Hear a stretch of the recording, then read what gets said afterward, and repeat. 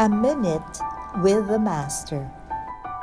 Tuesday of the sixth week of Easter.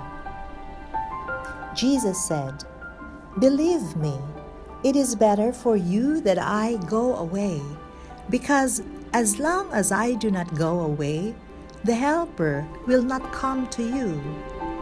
If I go away, I will send him to you.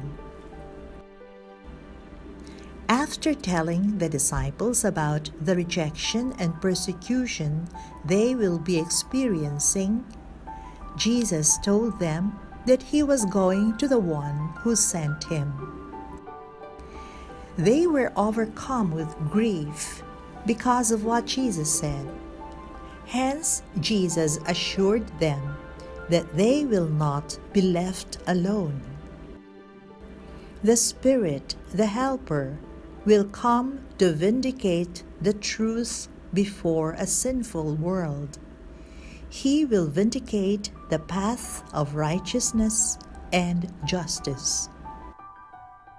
Have we experienced being left alone, helpless, and overcome with grief? To whom do we lean on?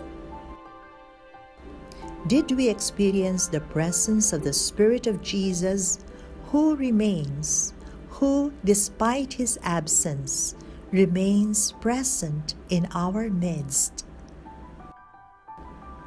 Let us pray.